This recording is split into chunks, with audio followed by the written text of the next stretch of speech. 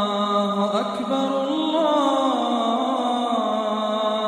أكبر الله வஹாபி இதான் இந்த கிதாபுடைய பெயர் முக்தார் அப்படின்னா தேர்ந்தெடுக்கப்பட்டதுன்னு அர்த்தம் முக்தார்னா என்ன அர்த்தம் அல் அஹ்லாக் அப்படின்னா ஹுல்க் அப்படின்னா நற்குணம் அதனுடைய பன்மை தான் அஹ்லாக். அப்ப நற்குணங்களிலே தேர்ந்தெடுக்கப்பட்டது. வல் ஆதாப் அதப்னா ஒழுக்கம். அதனுடைய பன்மை ஆதாப். அப்போ எப்படியே தேர்ந்தெடுக்கப்பட்ட நற்குணங்கள் மேலும் ஒழுக்கங்கள். தேர்ந்தெடுக்கப்பட்ட நற்குணங்கள் ஒழுக்கங்கள். எங்கிருந்து தேர்ந்தெடுக்கப்பட்டது? மின் அஹாதீசி ரசூலில் வஹாபி. கொடையாளராக இருக்கக்கூடிய ரசூல் ஸல்லல்லாஹு அலைஹி வசல்லம் அவர்களுடைய ஹதீசுகளிலிருந்து தேர்ந்தெடுக்கப்பட்ட நற்குணங்களும் ஒழுக்கங்களும் இந்த கிதாபுடைய பெயர். இந்த கிதாபில் என்னம்மா சொல்லுவாங்க? எப்படிலாம் ரசூல் சல்லா அலையம் நமக்கு அதபை கற்றுக் கொடுத்தார்கள்? சாப்பிடும்போது ஈமான் கொள்கிற விஷயத்தில் நபியை பிரியப்படுகின்ற விஷயத்தில் சாப்பிடும்போது நாவை பேணுகிற விஷயத்தில் இப்படி எது ரசூலுல்லா அதபை கற்றுக் கொடுத்திருக்கிறார்களோ அதே போன்று ஒழுக்கங்களை சொல்லியிருக்கிறார்களோ அது எல்லாவற்றையும் ஹதீஸுகளை அடிப்படையாக வைத்து இந்த கிதாபில் சொல்கிறாங்க எதை வச்சு சொல்கிறாங்க அடிப்படையாக ஹதீஸுகளை அடிப்படையா. அப்போ கிதாப் பேர் என்ன தெரிஞ்சிருச்சா? முக்தாருல் அஹ்லாபி ஒல் ஆதாபி மின் அஹாதீசு ரசூலில் வஹாபி. இதுதான் அந்த கிதாபுடைய பெயர். ஓகேவா? இப்போ நம்ம இதில் என்ன பார்க்க போகிறோம் ரசூல்லா சல்லா அலைஹி செல்லத்துடைய ஹதீஸுகளை. முதல்ல ஹதீஸ்னா என்னன்னு நம்ம தெரிஞ்சுக்குவோம். ஹதீஸ்னால் என்னன்னு தெரிஞ்சுக்குவோம். பொதுவாக நம்ம என்ன சொல்லுவோம்? ஹதீஸ் அப்படின்னா என்னங்கன்னு கேட்டால் நபி மொழி அப்படின்னு சொல்லுவோம். ஆனால் ஒவ்வொரு வார்த்தைக்கும் ஒரு டெஃபினேஷன் இருக்குது. ஒரு வரை விளக்கணம் இருக்கிறது. தாரீஃப் இருக்குது சொல்கிற புரியுது? அரபியில் சொல்கிறதா இருந்தால் அந்த மாதிரி ஹதீஸ்னால் என்ன அப்படின்னு முதல்ல நீங்கள் தெரிஞ்சுக்கணும். அதுக்கப்புறம் தான் ஹதீஸுக்கு போகலாம் ஃபஸ்ட்டு ஹதீஸ்னா என்ன அப்படின்னா மா உலீஃப இளன் நபிய ஸல்லல்லாஹு அலைஹி வசல்லம் மின் கவுலின் அவ் ஃபேலின் அவ் தக்ரீரின் அவ் சிஃபத்தின். ஹதீஸ்னா இதுதான் என்ன உசாத் அர்த்தம்? நபிசல்லா செல்லத்துடைய சொல் ரசூலுல்லா சொன்னது. எதெல்லாம் ரசூல்லா சொன்னாங்களோ அதுக்கெல்லாம் என்னென்னு பேர் சொல்லுவோம்? ஹதீஸ். ரசூல்லாய் ஸல்லா அலைஹி செயல். ரசூல் சல்லா அலைஹி எதையெல்லாம் செய்தார்களோ அதற்கு பெயர் ஹதீஸ்.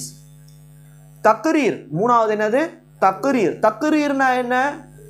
அங்கீகாரம். என்ன அங்கீகாரம்னா என்ன? ரசூல் சல்லா அலைஹி முன்னிலையில் ஒரு காரியம் செய்யப்பட்டிருக்கும். அந்த காரியத்தை ரசூலுல்லா தடுத்திருக்க மாட்டார்கள். இப்போ உஸ்தாது முன்னாடி ஒரு ஒரு விஷயத்தை நம்ம செய்கிறோம் உஸ்தாது பார்த்துட்டு கண்டுக்காமல் தடுக்காமல் இருக்கிறாங்க. அப்போ அது என்ன அர்த்தம்? அங்கீகாரம் கொடுத்தாங்கன்னு அர்த்தம். ஏன்னா தப்பான விஷயமா இருந்தால் தடுத்திருப்பாங்க. அப்போ ரசூல் சல்லா அலையம் முன்னிலையில் ஒரு காரியம் செய்யப்பட்டு ரசூல் சல்லா அலையம் அதை தடுக்கவில்லை என்றால் அதற்கு பேர் தக்ரீர் அங்கீகாரம். இப்போ தக்ரீர் இதெல்லாம் எதெல்லாம் ரசூல்லா காலத்தில் நடந்துச்சோ அது எல்லாமே எதில் வந்துடும் ஹதீஸ். ரசூல்லாவுடைய சொல் ரசூல் சல்லா அலைய சொல்லத்துடைய செயல் ரசூலுல்லாவுடைய அங்கீகாரம் தக்ரீர். நாலாவது ரசூல்லாவுடைய சிஃபத். ரசூல் சல்லா அலைய செல்லத்துடைய சிஃபத். நீங்கள் சிஃபத் அப்படின்னா ரெண்டு வந்துடும் சிஃபத்னா என்ன வந்துடும் ரெண்டு வந்துடும் என்ன சிஃபத் ரெண்டு வருது? ஒன்று சிஃபத்தே ஹல்க் இன்னொன்று சிஃபத்தே ஹுல்க். ரசூலுல்லாவுடைய படைப்புடைய தன்மை. இதுவும் ஹதீஸ். ரசூல்லாவுடைய படைப்புடைய தன்மைனா என்ன? ரசூல்லாவுடைய ஹைட் எப்படி இருந்துச்சு? ரசூல்லாவுடைய முகம் எப்படி இருந்துச்சு? ரசூல்லாவுடைய தலையில் எத்தனை முடிகள் வெள்ளை முடிகள் இருந்தது? ரசூல்லாவுடைய கண்கள் எப்படி இருந்தது? ரசூல்லாவுடைய தோற்றம் எப்படி இருந்தது? அவங்க முதுகத்தில் ஒரு ஹாத்தமு நுபுவத் நபித்துவ முத்திரை இருந்தது. இதெல்லாம் எது சம்பந்தப்பட்ட தன்மைகள்? ஹல்குடைய தன்மைகள் ரசூலுல்லாவுடைய படைப்புனுடைய தன்மைகள். இதுவும் ஹதீஸ் தான். ரசூல்லாவுடைய படைப்புகளுடைய தன்மையும் அதற்கு என்னதான் சொல்லுவோம்? ஹதீஸ் தான் சொல்லுவோம். இன்னொன்று சிஃபத்தே ஹுல்க். ரசூலுல்லாவுடைய குணங்களை பற்றி வரக்கூடிய தன்மைகளும் ஹதீஸ். நாலாவது சிஃபத் இருக்குல்லம்மா. சிஃபத்தை ரெண்டாக பிரிக்கிறாங்க. சிஃபத்தே ஹல்கு சிஃபத்தே ஹுல்கு. ரசூலுல்லாவுடைய படைப்பு சம்பந்தப்பட்டு வரக்கூடிய தன்மைகளுக்கும் ஹதீஸ் என்று சொல்வார்கள். ரசூல் சல்லா அலைய செல்லத்துடைய குணம் சம்பந்தப்பட்டு வரக்கூடிய விஷயங்களுக்கும் ஹதீஸ் என்று சொல்வார்கள். அப்போ ரசூல் சல்லா அலை ஹதீஸ்னா என்னன்னு தெரிஞ்சுட்டா? ஒரு யாரோ ஒருத்தர் ஹதீஸ்னா என்னன்னு கேட்டால் என்ன சொல்லணும்? நபிசல்லா அலைய செல்லத்துடைய சொல் அவர்களுடைய செயல் அவர்களுடைய அங்கீகாரம் அவர்களுடைய சிஃபத்து. சிஃபத்தில் ரெண்டு வந்துடும் அவர்களுடைய படைப்பு சம்பந்தப்பட்ட தன்மை அவர்களுடைய குணம் சம்பந்தப்பட்ட தன்மை. இது எல்லாம் சேர்ந்ததுக்கு பெயர்தான் ஹதீஸ் என்று சொல்வார்கள். அரபியில் சொல்கிறதா இருந்தால் மா உலீஃப இளன் நபி சல்லா அலைய செல்லம் நபிசல்லா சல்லா செல்லத்தம் பக்கம் இணைக்கப்பட்டது. மின் கவுலின் அவு ஃபேலின் அவு தக்கரீரின் அவு செஃபத்தின். நபிசல்லா அலையல்லத்தின் பக்கம் இணைக்கப்பட்டு சொல்கின்ற சொல் செயல் அங்கீகாரம் அவர்களுடைய தன்மை இது எல்லாம் சேர்ந்ததற்கு பெயர்தான் என்ன சொல்லுவாங்க? ஹதீஸ் என்று சொல்லுவாங்க. அப்போ ஹதீஸ்னா என்னன்னு தெரிஞ்சிருச்சா? முதல்ல ஹதீஸ்னா என்னன்னு கேட்டால் இதை சொல்லணும். கரெக்டாக எழுதிக்கோங்க நோட் பண்ணிக்கோங்க. சரி. இப்போ அடுத்த கேள்வி என்ன? ஹதீஸை இப்போ குரானை வாசித்தா நன்மை. குரானை வாசித்தா நன்மை. அப்படித்தானே? குரானை வாசித்தா என்னது? நன்மை. பாவநாச பிள்ளைங்களுக்கு புரியுதா? கேட்குதா வாய்ஸ் இப்போ அடுத்து என்ன சொன்னோம்? இப்போ குரான் இருக்குல்லம்மா. குரானை ஒரு எழுத்துக்கு பத்து நன்மை. இப்போ உதாரணமாக அலீஃப் லாம் மீன் அலீஃப் லாம் மீன் இப்போ என்ன சொல்கிறாங்க சொல்ல ஒரு எழுத்துக்கு பத்து நன்மைனா அலீஃபுக்கு ஒரு பத்து நன்மை லாமுக்கு ஒரு பத்து நன்மை மீமுக்கு ஒரு பத்து நன்மை. அப்போ குரானில் ஓதனா வாசித்தா ஒரு எழுத்துக்கு பத்து நன்மை. குரானை ஓதனா என்ன நன்மை? நம்ம கேள்விப்பட்டிருக்கோம். ஒருத்தர் ஹதீஸை வாசித்தால் ஹதீஸை படித்தால் ஹதீஸை பிறருக்கு சொன்னால் என்ன நன்மை? கேள்வி வருதுல்ல. ரெண்டுமே வகி தான் நல்லா கவனிங்க. குரானும் அல்லாவுடைய வகி. ரசூல்லாவுடைய ஹதீஸும் அல்லாவுடைய வகி தான் சொல்ற புரியுதா? இது ஓதப்படுகின்ற வகி இது ஓதப்படாத வகி. ரெண்டுமே வகி தான் சொல்ற புரியுதா? குரானும் வகி நபியினுடைய ஹதீஸும் வகி. ஏன் வகின்னு சொல்கிறோம் கேள்வி வருதுல்ல. அல்லாஹ் குரானில் சொல்கிறான் இந்த ஆயத்தை நோட் பண்ணுங்க. எங்கே வருதுன்னு எடுத்து பாருங்க குரானில். ஒமா என் திக்கு அனில் ஹவா. ஒமா என் திக்கு அனில் ஹவா. இந்த ஆயத்து எங்கே வருது? சூரத்து நஜிமில் மூணாவது ஆயத்து. எதுக்கு இந்த ஆயத்தை சொல்கிறேன்னா குரான் எப்படி அல்லாவுடைய இறை செய்தியோ வகியோ அதே போன்று ஹதீஸும் அல்லாவுடைய இறை செய்தி தான் அதுவும் வகி தான் ஏன் எப்படிங்க உஸ்தாத் சொல்கிறீங்க அப்படின்னு கேட்டால் சூரத்து நஜ்மில் அல்லாஹ் மூணாவது வசனத்தில் சொல்கிறான் அந்த வசனத்தை நோட் பண்ணிக்கவங்க தரிஜுமா பிறகு குரான் எடுத்து பாருங்க. ஒமா என் தெக்கு அனில் ஹவா. ஒமா என் தெக்கு நபி அவர்கள் பேச மாட்டார்கள். நுத்துக்கு செய்ய மாட் நுத்துக்குனா என்னது? நத்தக்க என் துக்கு மொழிய மாட்டார்கள் பேச மாட்டார்கள். அனில் ஹவா. தன்னுடைய மனோ இச்சையை தொட்டு அவர்கள் பேச மாட்டார்கள். ஒமா என்திகு அனில் ஹவா. இன்ஹுவ இல்லா வஹி யூஹா. அவர்கள் அப்படி பேசினால் அது அல்லாவிடமிருந்து வஹியாகவே தவிர வேறு எதுவும் இருக்காது. இன்ஹுவ இல்லா வகையும் அல்லாவிடமிருந்து கொடுக்கப்பட்ட இறை செய்தியாகவே தவிர வேறு எதுவும் இருக்காது.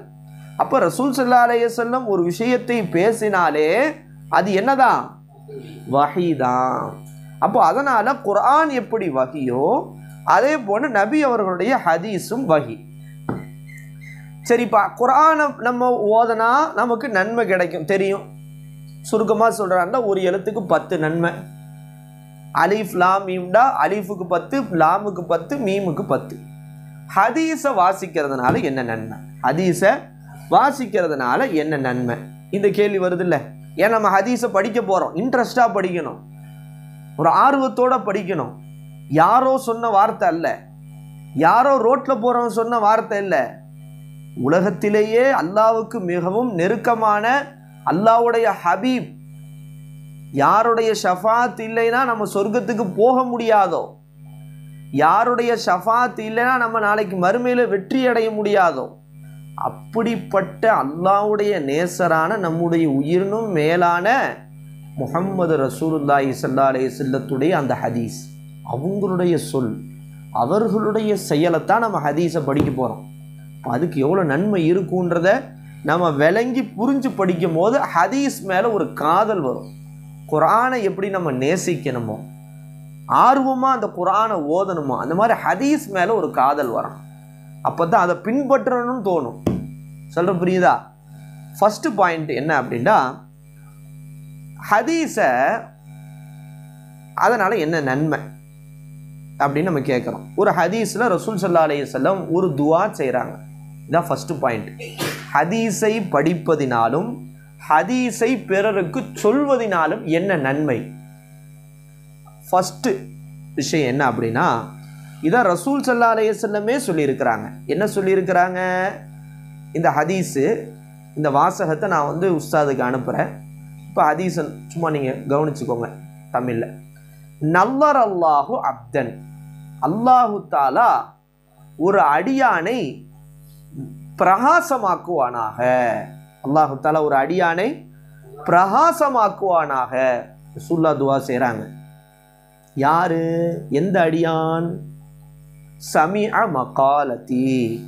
என்னுடைய அந்த ஹதீஸை அவர் கேட்கிறார். அவர் என்ன செய்கிறாரு காதால கேட்குறாரு கேட்டது மட்டும் இல்லை. ஃபஹஃபிலஹா அதை மனநம் செய்து கொள்கின்றார்.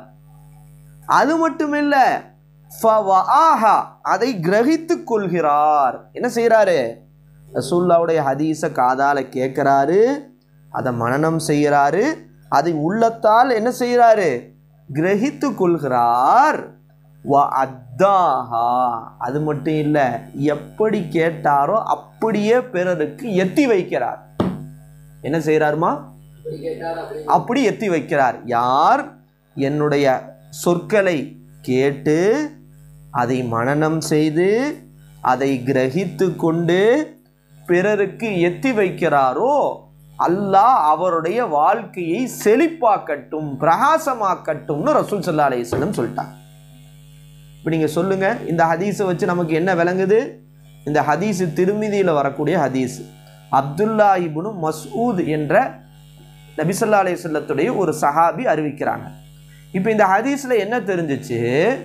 ஒருவர் ரசூலுல்லாவுடைய ஹதீஸை கேட்டு அதை உள்ளத்திலே மனனம் செய்து அதை வாழ்க்கையிலே கிரகித்து கொண்டு பிறருக்கு அதை எத்தி வைத்தால் அல்லாஹுத்தால அவருடைய வாழ்க்கையை செழிப்பாக்குவான் சந்தோஷமாக்குவான் பிரகாசமாக்குவான். காரணம் ரசுல்லா துவா செஞ்சிட்டான் அல்லாஹுத்தால நமக்கும் அந்த நசீபை அல்லாஹ் கொடுக்கணும் இன்ஷா அல்லாஹ் நபி சொல்லா அலையுல்லத்துடைய ஹதீஸை நம்ம கேட்கணும் இன்ஷா அல்லா கேட்க போகிறோம் அதை நம்ம மனநம் செய்ய போகிறோம் நம்ம வாழ்க்கையில் அப்ளை பண்ண போகிறோம் இன்ஷா அல்லா அதை நாலு பேருக்கு சொல்ல போகிறோம் நம்ம அதை செஞ்சால் என்ன முஸ்தாக் மேலே சிரிக்கிறீங்க? நமக்கும் அல்லாஹு தாலா நபியினுடைய பிரகா இந்த துவா அல்லாஹ் கொடுப்பான். நம்ம வாழ்க்கையை அல்லாஹ் செழிப்பாக்குவான். புரியுதா உங்களுக்கு? ரசூல்லாவுடைய ஹதீஸில் நம்ம மூழ்கும் போது நாலு பேருக்கு நபியினுடைய ஹதீஸ் எத்தி வைக்கும் போது அல்லாஹு தாலா என்ன செய்ய மாட்டான்? நம்மளை கைவிட மாட்டான். நம்ம வாழ்க்கையை அல்லாஹ் செழிப்பாக்குவான். ஏன்னா ரசூல்லா துவா செஞ்சுருக்காங்க. ரசூல்லாவுடைய துவா என்ன செய்யாது? பொய்யாகாது வீணாகாது. விளங்குதா? இந்த ஹதீஸ் இப்போ ஃபஸ்ட்டு நன்மை என்னன்னு தெரிஞ்சுட்டா? ஹதீஸை ஒருவர் ஈடுபட்டு அதை வாசித்து அதை மனநம் செய்து வாழ்க்கையில் கொண்டு வந்து அதை நாலு பேருக்கு சொன்னால் என்னன்னு கிடைக்குதா? நபியனுடைய துவா கிடைக்குது நமக்கு. இது ஃபஸ்ட்டு பாயிண்ட் ரெண்டாவது பாயிண்ட் என்ன தெரியுமாம்மா? இப்போ நீங்கள் ரசூல் சல்லா அலையத்தில் ஒரு ஹதீஸில் சொன்னாங்க. அந்த ஹதீஸ் இந்த பா இந்த கிதாப்லேயே வருது.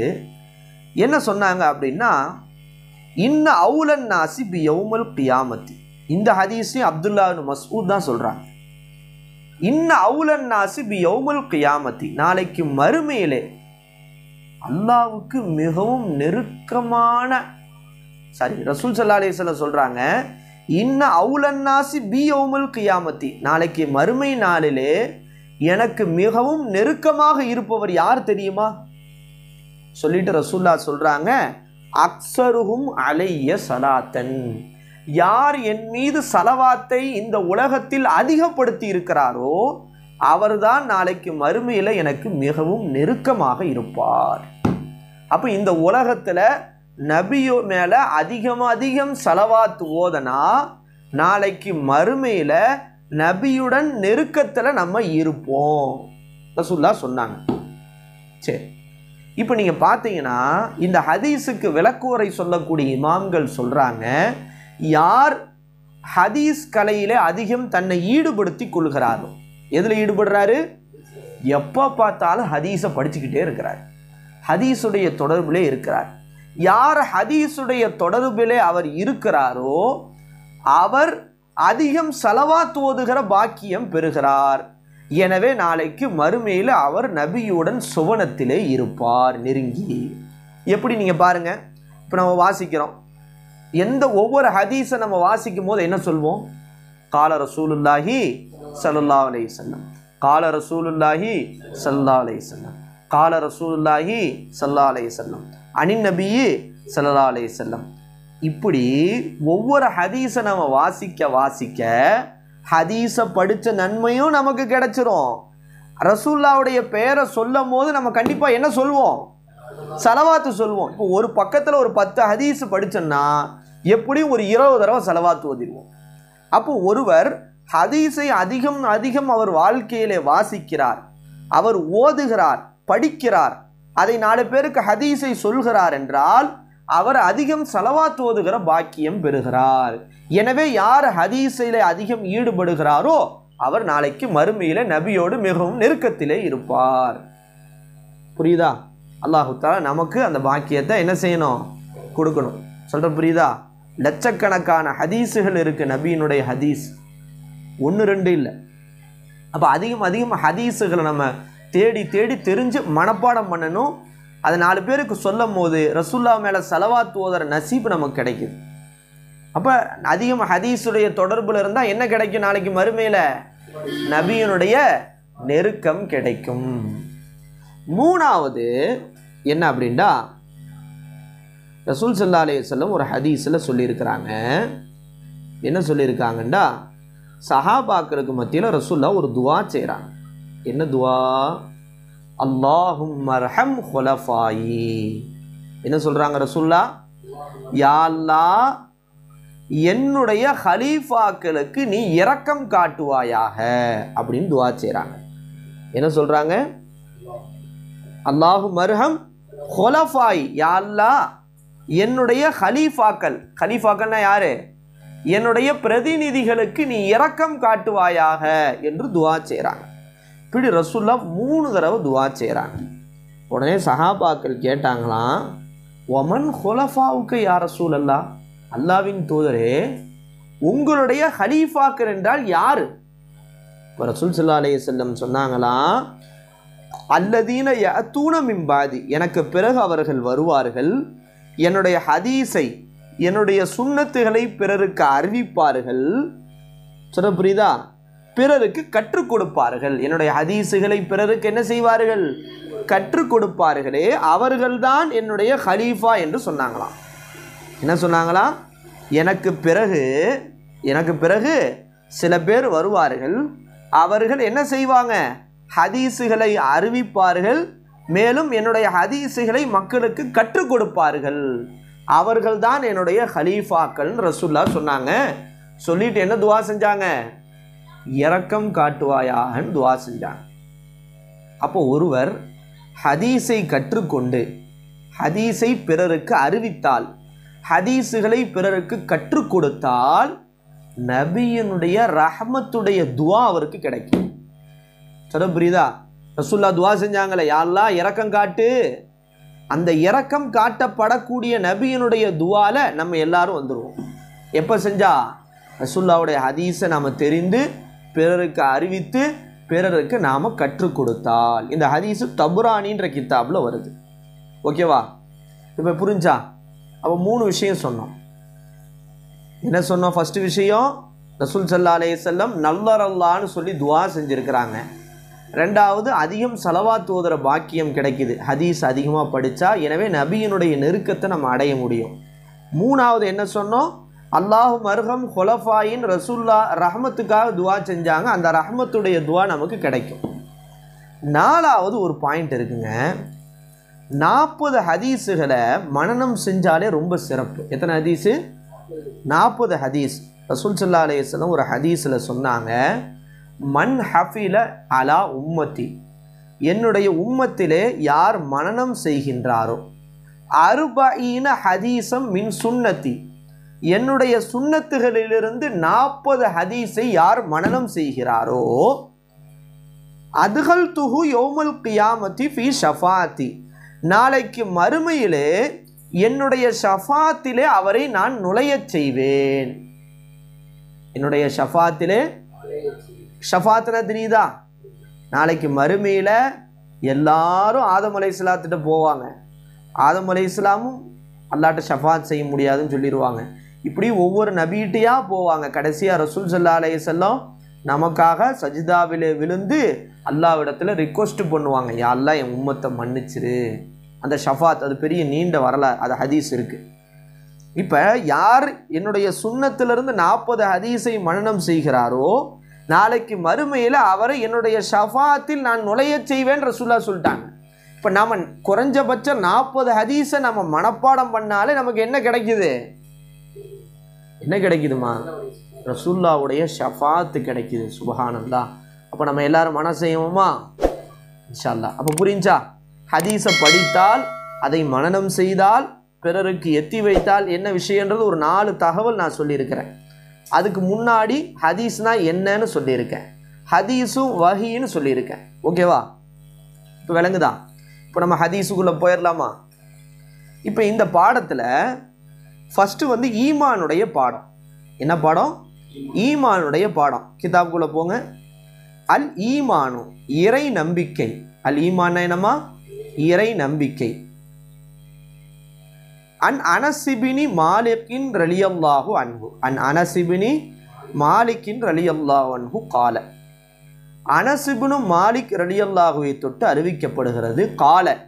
அவர்கள் சொன்னார்கள் கால ரசூலுல்லாஹி சல்லல்லாஹு அலஹி வசல்லம் ரசூல் சல்லா அலைய செல்லம் சொன்னதாக அனசிபுனு மாலிக் ரலியல்லானு அவர்கள் சொல்கின்றார்கள்.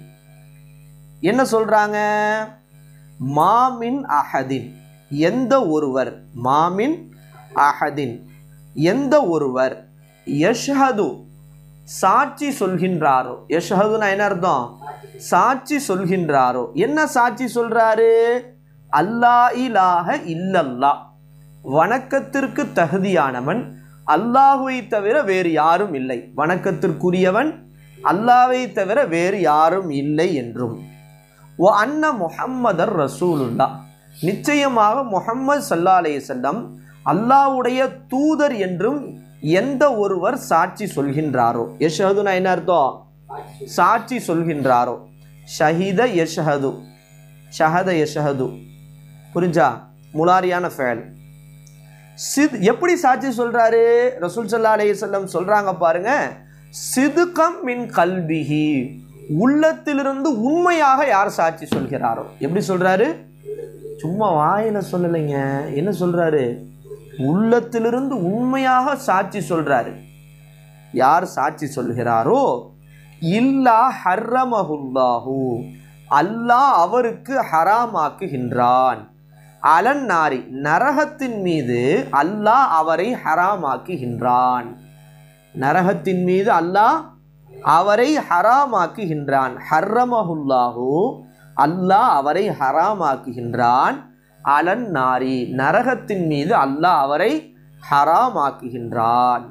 அப்போ எந்த ஒருவர் என்ன சாட்சி சொல்கிறாரு நிச்சயமாக வணக்கத்திற்குரியவன் அல்லாஹை தவிர வேறு யாரும் இல்லை. நிச்சயமாக முகமது சல்லா அலைய செல்லம் அல்லாஹ்வுடைய தூதராக இருக்கிறார்கள் என்று எந்த ஒருவர் உள்ளத்திலிருந்து உண்மையாக சாட்சி சொல்கின்றாரோ அல்லாஹ் அவரை நரகத்தின் மீது ஹராமாக்குகின்றான். நல்லா கவனிங்க. ஈமான் ரெண்டு ருக்குன் உடையது. ஈமான் எத்தனை ருக்குன் இருக்குது? ரெண்டு ருக்குன். ஃபஸ்ட்டு ருக்குனுக்கு பேர் அல் எக்கராறு பில்லிசான் நாவால் மொழிவது. என்ன மொழிவது? நாவால் மொழிவது. நாவால் என்ன மொழிகிறது அஷ்ஹது அல்லா இலாக இல்லல்லா வ அஷ்ஹது அன்ன முஹம்மதர் ரசூலுல்லா. இதுக்கு பேர் என்ன சொல்லுவாங்க? நாவால் மொழிவது. அல் இக்ராரு பில் லிசான். இன்னொன்று இது ஒரு ருக்குன். இன்னொரு ருக்குனுக்கு பேர் தஸ்தீக்கும் பில் கல்ப். உள்ளத்தால் உண்மைப்படுத்துவது. நீ வாயால் சொன்னால் மட்டும் பத்தாது. என்ன செய்யணும்? உள்ளத்தால் உண்மைப்படுத்துவது. என்ன செய்யணும்? ஆமாங்க. வணக்கத்திற்கு தகுதியானவன் அல்லாவை தவிர வேறு யாரும் கிடையாது. இது வாயால் மட்டும் நீ இக்கராறு செய்யலை. என்ன செய்யணும்? உள்ளத்தால் உண்மைப்படுத்த வேண்டும். நிச்சயமாக முகமது சல்லா அலைஹி செல்லம் தான் அல்லாவுடைய தூதர் என்று நீ என்ன செய்யணும்? உள்ளத்தால உண்மைப்படுத்தணும். இது ரெண்டு தான் ஈமானோட இது ரெண்டும் இருக்கணும். என்னென்ன? அல் இக்கராரும் பில்லிசான் வ தஸ்தீக்கும் பில் ஜனான் சொல்லுவாங்க அல்லது தஸ்தீக்கும் பில் கல்பு. நாவால் மொழிவது உள்ளத்தால் உண்மைப்படுத்துவது. நாவால் மொழிவது உள்ளத்தால் உண்மைப்படுத்துவது. இது ரெண்டும் இருக்கணும். இது ரெண்டும் சேர்ந்தது தான் ஈமான். விளங்குதா? இது ரெண்டும் சேர்ந்தது தான் ஈமான். ஒருத்தர்கிட்ட இக்கரார் மட்டும் இருக்குங்க. வாயால் சொல்லிவிட்டார் ஆனால் உள்ளத்தில் என்ன இல்லை? தஸ்தீக் இல்லைன்னா அவன் முனாஃபிக். முனாஃபிக்கல் ரசூல்லா காலத்தில் அப்படி தான் நாங்கள் இருந்தாங்க. என்ன சொன்னாங்க வந்து ரசூல்லாட்ட என்ன சொன்னாங்க? நாங்களும் ஈமான் கொண்டிருக்கிறோம்னு சொன்னாங்க. நாங்களும் என்ன செஞ்சுருக்கிறோம்? ஈமான் கொண்டிருக்கிறோன்ட்டாங்க அங்கிட்டு போய் என்ன சொன்னாங்க? சும்மா அங்கிட்டு ஈமான் சொன்னோன்னு போய் சொன்னோம். அவங்க உள்ளத்தில் என்ன இல்லை? தஸ்தீக் இல்லை. அப்போ முனாஃபிக்கல் அப்போ ஒருத்தன்ட்டு இக்கரார் மட்டும் இருக்குது. என்ன இல்லை? தஸ்தீக் இல்லைன்னா அவன் முனாஃபிக் ஆயிடுவான் நயவஞ்சகன். ரசூல்லா காலத்தில் இருந்த முனாஃபிக் மாதிரி ஒருத்தன்ட்ட தஸ்தீக் இருக்கு. அவன் உள்ளத்தில் நம்ப நம்பிக்கை இருக்கு. உண்மையா ரசூல் அல்லா தான் இலாகு ரசூல்லா தான் அல்லாவுடைய முகமது தான் அல்லாவுடைய தூதர்ன்ட்டு. ஆனால் இக்ராரை மறுக்கிறான். என்ன செய்ய மாட்டான் இக்ரார் செய்ய மாட்டான் இவன் யகூதி மாதிரி. ரசுல்லா காலத்தில் வாழ்ந்த யகூதிகள் இருக்காங்க. அகலு கித்தாப் அவங்க எல்லாருக்குமே தெரியும். முகமது சல்லா அலேஸ்வரம் தான் அல்லாவுடைய தூதர் ஏன்னா அவங்க வேதத்திலே வந்துருச்சு. ஆனால் இக்ரார் செய்ய மறுத்தாங்க. ஏன் மறுத்தாங்க? எங்கே நம்ம ஏற்றுக்கிட்டா நம்ம தலைமைத்துவம் போயிருமோன்ட்டு. அப்போ ஒருத்தன் இக்கரார் செய்ய மறுத்தால் ஏன் வாயால சொல்கிறா அஷத் அல்லா இல்லா இல்லா என் உள்ளத்தில் நான் உண்மை கொண்டிருக்கேன். வாயாலாம் சொல்ல முடியாதுன்னு மறுத்தா அங்கே ஈமான் என்னவாகாது? சரியாகாது. ஈமான் சரியாகாது. அவன் இக்கராரும் செய்யணும் தஸ்தீக்கும் செய்யணும். நாவால் மொழியணும் உள்ளத்தால் உண்மைப்படுத்தணும். இது ரெண்டுமே இருந்தால் தான் ஈமான் சரியாகும் சரி. ஒருத்தன்ட்ட இக்கராறு சில நேரங்களில் இல்லாமல் கூட போகலாம். ஆனால் தஸ்தீக்கு எப்பயுமே இல்லாமல் போகக்கூடாது. எப்படிங்க? இப்போ நடந்து போய்கிட்டு இருக்க. தொப்பி போட்டு போகிற திடீர்னு ஒருத்தன் ஒன்று என்ன செஞ்சுட்டான்? ஆர்எஸ்எஸ்காரன் ஓ அப்படி ஒன்று அப்படி பின்னாடி பிடிச்சி கழுத்தில் வந்து கத்தி வச்சுட்டான். என்ன செஞ்சுட்டான்?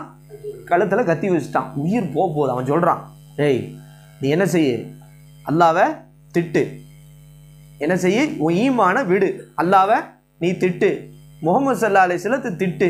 அவங்க ரசூல் கிடையாதுன்னு சொல்லு அப்படின்னு கழுத்தில் கத்தி வச்சுட்டான். அவன் கழுத்தில் என்ன செஞ்சிட்டான்? ஆனால் உன் கல்புல தஸ்தீக் இருக்குது அல்லாஹ் தான் இலா முகமது சல்லா அலிஸ்லாம் தான் அல்லாவுடைய தூதர்ன்ட்டு இப்போ இந்த இடத்துல இக்கரார் என்ன செய்கிறான் அவன் கத் மாற்றி சொல்லலை தப்பாக சொல்லலைன்னா கொன்றுவான். இப்போ இந்த இடத்துல மார்க்கம் என்ன கற்றுக் கொடுக்குது? உன் உயிரை பாதுகாத்து கொள்வதற்காக அந்த இடத்திலே தஸ்தீக்கும் பில் கல்வி இருப்பதுடன் இக்கராரை விட்டு விடுவது கூடும். அப்போ நீ அந்த நேரத்துக்கு என்ன செஞ்சுக்கலாம்? மாற்றி சொல்லிக்கலாம். ஒரு சஹாபிக்கு அப்படி நடந்துச்சு. அந்த சஹாபி மாற்றி சொல்லிட்டாங்க. ரசுல்லாவுடைய சபைக்கு வர்றாங்க. எல்லா சஹாபாக்களும் சொல்கிறாங்க இவர் காஃபிரா போயிட்டாரான்னு ஒரு சலசலப்பு வருது. அப்போ அல்லாஹு தலா குரான் வசனம் இறக்கிட்டான். அப்போ ஒருத்தருக்கு உயிர் போய்விடும் என்ற நிலை ஏற்பட்டால் தஸ்தீக்கும் பில் கல்பு இருப்பதுடன் எதை விடலாம்? நாவால் மொழிவதை மாற்றி சொன்னாலும் அவருடைய ஈமான் பாதிக்காது. ஆனால் தஸ்தீக்கும் பில் கல்பு எப்பயும் என்ன செய்யாது? மாறாது. எப்பயும் கண்டிப்பாக இருக்கணும். அது ஷர்த்து. ஒருத்தனோட ஈமானுடைய ஷருத்தில் எது இருக்கணும் அவனுக்கு? தஸ்தீக்கும் பில் கல்வு இருக்கணும். இக்கராரும் பில் லிசான் இருக்கணும். ஆனால் உயிரை பாதுகாத்து கொள்ள வேண்டிய நிர்பந்தம் ஏற்பட்டா எங்க உயிர் போயிருன்ற பயம் இருந்தால் அந்த நேரத்தில் இக்கராரை மாற்றி சொன்னால் அது தவறு கிடையாது. அப்போ ஈமான் சிஹத்தாகும்னா என்னென்ன வேணும்? இக்கராரும் பில்லிசான் அப்போ இந்த ஹதீஸ் புரியுதா? எந்த ஒருவர் அல்லா இலாக இல்லல்லா ஓ அன்ன முஹம்மது ரசூலுல்லா என்று உள்ளத்திலிருந்து உண்மையாக சாட்சி சொல்கின்றாரோ ஆ, அல்லாஹு தாலா அவரை நரகத்தின் மீது ஹராமாக்கி விட்டான். அவன் உள்ளத்திலிருந்து உண்மையாக சொல்லணும். புகாரி இந்த ஹதீஸ் எங்கே வருதுமா? புகாரி முஸ்லீம். அடுத்த ஹதீஸ் பாருங்கள் இன்னும் ஒரு நிமிஷம் இருக்கு. அன் அபீதரின் ரலியல்லாஹு அன்பு அபூதர் என்கிற சஹாபியை தொட்டு அறிவிக்கப்படுகிறது. கால அந்த சஹாபி சொன்னாங்க. இப்போ நான் சொல்கிற விளக்கத்தை நீங்கள் சேர்த்து எழுதணும். ஃபஸ்ட்டு ஹதீஸில் ஈமானுடைய ருக்குன்னு சொல்லியிருக்கேன். இக்ராரும் பில்லிசான் தஸ்தீக்கும் பில் கல்பு சொல்லியிருக்கேன். இக்ராரும் பில்லிசான்னு அதுக்கு விளக்கமும் சொல்லியிருக்கிறேன். அந்த விளக்கத்தை அப்படியே ஃபுல்லாக எழுதி வைங்க. அப்போ தான் புரியும். க- கதை மாதிரி கேட்டுட்டிங்கன்னா மறந்து போயிடும் ஏன்னா முக்கியமான அகீதாவுடைய விஷயம். எக்கரார் ரெண்டுமே இருக்கணும். இக்ரார் மட்டும் ஒருத்தன் இருந்தால் அவன் என்ன? தஸ்தீக் மட்டும் ஒருத்தர் இருந்தால் அவன் என்ன? தஸ்தீக்கும் பில் கல்பு என்றைக்குமே போகாது. ஆனால் இக்கராரும் பில்லிசான் உயிரை பாதுகாத்து கொள்ள வேண்டிய இடத்துல அந்த நேரத்தில் என்ன செய்யலாம்? விடணும்னா விட விட்டுக்கலாம். அதுக்கு அனுமதி இருக்குது மார்க்கத்தில். ஆனால் தஸ்தீக்கும் பில் கல்பு என்னைக்கு என்ன செய்யக்கூடாது? இதெல்லாம் விளக்க சொல்லியிருக்கேன் கவனிச்சுக்கோங்க. ஆனால் அபிதரின் அலியல்லாஹு அனுபவம் அபூதர் அலியல்லாவை தொட்டு அறிவிக்கப்படுது அவங்க சொல்கிறாங்க அத்தைத்து நபிய சல்லா அலி செல்லம் நபி சொல்லா அலி செல்லம் அவர்களிடத்திலே நான் வந்தேன். நபி இடத்துல நான் வந்தேன். வகுவ நாயிமுன். இந்த வாவு வந்து நிலையில்னு அர்த்தம் கொடுக்கும். வாவுல் ஹால்னு சொல்லுவாங்க. வகுவ நாயிமுன். நபி அவர்கள் தூங்கி கொண்டிருக்கின்ற நிலையில் நபி இடத்திலே வந்தேன். நபி அவர்கள் தூங்கி கொண்டிருக்கின்ற நிலையில் நபி அவர்களிடத்திலே நான் வந்தேன். வா அலைஹி மேலும் நபியின் மீது இருந்தது. சௌபுன் அபியலும் வெள்ளை நிற ஆடை இருந்தது. நபி அவர்கள் மீது என்ன இருந்ததுமா? வெள்ளை நிற ஆடை இருந்தது. சும்மா அத்தை துகு பிறகு நான் வந்தேன். ஃபைதன் அந்த நேரத்திலே ஹுவ நாயிமுன் அவர்கள் தூங்கி கொண்டிருந்தார்கள். பிறகு மீண்டும் வந்தேன் ஃபைதன் அந்த நேரத்திலே ஹுவ நாயிமுன். அப்போது அவங்க என்ன செஞ்சிட்டு இருந்தாங்க? தூங்கி கொண்டிருந்தார்கள். சும்மா அத்தை பிறகு நான் அவர்களிடத்திலே வந்தேன். ஒகது இஸ்தைகல திட்டமாக அவர்கள் விழித்து விட்டார்கள். இஸ்தைகலனா என்ன அர்த்தம்? விழித்து விட்டார்கள். ஃபஜலஸ்து இலைஹி. நான் நபிக்கு பக்கம் நான் அமர்ந்தேன். ஜலஸ்துனா என்ன அர்த்தம்? ஜலச ஜலசா ஜலசு ஜலச ஜலசதா ஜலஸ்ன. அதனுடைய முத்தக்களின் ஜலஸ்து இலகி நபியின் பக்கத்தில் அமர்ந்தேன். ஃபகால. எனவே நபி அவர்கள் சொன்னார்கள் ஃபகால எனவே சொன்னார்கள் மாமின் அப்தின் எந்த ஒரு அடியான் கால சொன்னாரோ என்ன சொன்னார்? லா இலாக இல்லல்லா என்று எந்த ஒரு அடியான் சொன்னாரோ. சொன்னது மட்டும் இல்லைங்க. சும்ம பிறகு மாத்த அலாதாலிக்க அந்த லாயிலாக இல்லல்லாவின் மீதே மரணிக்கிறாரோ? இல்லா தகலல் ஜன்னா. அவர் சுவனத்தில் நுழைந்து விட்டார். திட்டமாக அவர் சுவனத்திலே நுழைந்து விட்டார். இந்த சென்டென்ஸில் முன்னாடி மா இருக்குது. நடுவில் இல்லா இருக்குது. தவிரன்னு அர்த்தம் வரும். அப்படி அர்த்தம் வைக்கும்போது கொஞ்சம் குழம்புற மாதிரி தெரியும். மாவையும் இல்லாமையும் எடுத்துட்டு அர்த்தம் வச்சா சென்டென்ஸ் கரெக்டாக வந்துடும் அதனால தான் நான் அப்படி அர்த்தம் வைக்கிறேன். தவிர அப்படின்னு சொல்லும் போது ஒரு மாதிரியாக இருக்கும் அர்த்தம் வைக்கிறதுக்கு.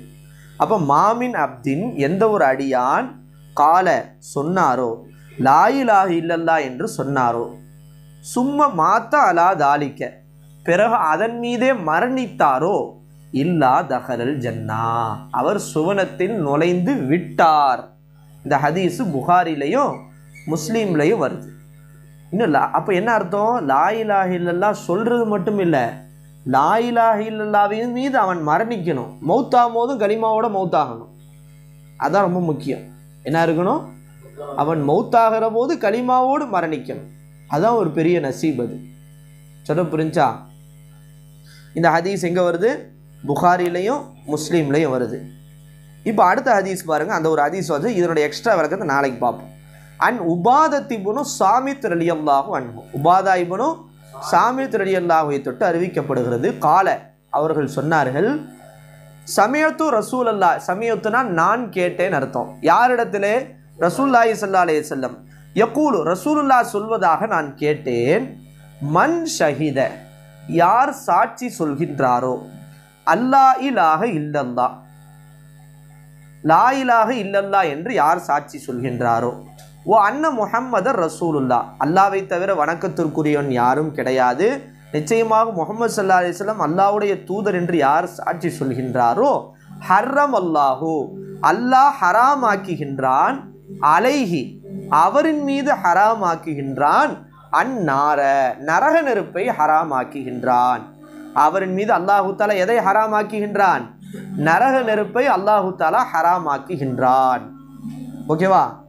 அப்போ யார் இந்த சாட்சி சொல்கிறாரோ அவரு அவரின் மீது நரக நெருப்பை அல்லாஹ் ஹராமாக்குகின்றான். இந்த ஹதீஸு முஸ்லீமில் வருது. ஓகேவா? இப்போ எத்தனை ஹதீஸ் சொல்லியிருக்கோம்? மொத்தம் மூணு ஹதீஸ் சொல்லியிருக்கோம். சில விளக்கங்களை சொல்லியிருக்கோம். ஹதீஸ்னா என்ன? அந்த விஷயங்களாம் சொல்லியிருக்கிறோம். இன்ஷால்லா நாளைக்கு கிளாஸில் இன்ஷால்லா பார்ப்போம். மீதி இருக்கிற அந்த இப்போ அந்த எழுதுன ந- சொல்லப்பட்ட விஷயங்களை தெளிவாக இன்ஷால்லாம் எழுதி வைங்க இன்ஷால்லா நாளைக்கு தொடர்ந்து இன்ஷால்லா அடுத்தடுத்த ஹதீஸுகளை பார்ப்போம். இந்த மூணு ஹதீஸுகளையும் எழுதிட்டு அந்த ஹதீஸுகளை மனப்பாடமும் பண்ணிடுங்க இன்ஷால்லா கையோட மனப்பாடம் பண்ணிட்டால் ஈஸியாகிடும் அர்த்தத்தோட ஒவ்வொரு சென்டென்ஸையும் அர்த்தத்தோட மனப்பாடம் பண்ணுங்க. அப்போ தான் கரெக்டாக வரும் ஓகேவா அஸ்ஸலாமு வலைக்கம் வரஹ்மத்துல்லாஹி வபரகாத்துஹு Yeah.